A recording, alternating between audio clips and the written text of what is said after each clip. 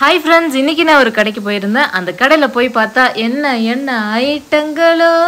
அப்படின்னு சொல்லி பாட்டு பாடுற மாதிரி நிறைய நிறைய ட்ரெண்டியான ட்ரெஸ் வந்து நான் பார்த்தேன். பெங்களூரில் வந்து ஜூடியோ ஒரு ஒன் ஆஃப் தி பெங்களூர் கிடையாது. நம்ம ஆல் ஓவர் எங்கெங்கெல்லாம் ஜூடியோ இருக்கோ அங்கெல்லாம் போய் பார்த்தீங்கன்னா ரொம்ப ட்ரெண்டியான ட்ரெஸ் கலெக்ஷன்ஸ் நீங்கள் பார்க்கலாம். பர்டிகுலர்லி உமன்ஸுக்கு நிறைய கலெக்ஷன்ஸ் இருக்கும்.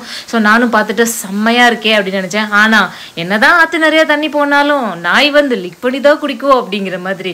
நமக்கு எப்பயுமே இந்த ஒரு பேண்ட் ஷர்ட்டு இல்லைன்னா குர்த்தா தான் ஃபிட் ஆகும். ஸோ அதனால் நான் எல்லாத்தையும் எடுத்து ஜஸ்ட் ட்ரையல் மட்டும் பார்த்துட்டு ஓகே என்ன பண்ணுறது வளைக்கு வரக்கூடிய தலைமுறையினர்கள் இதெல்லாம் பயன்படுத்துவாங்க அப்படின்னு சொல்லிட்டு அங்கேருந்து நடைய கட்டிட்டேன். அப்படியே வந்து பார்த்தா இங்கே வந்து ஸ்லிப்பர்ஸ்லாம் நிறைய போட்டிருந்தாங்க. வெரைட்டி ஆஃப் ஸ்லிப்பர்ஸ் ரொம்ப அழகாக இருந்தது.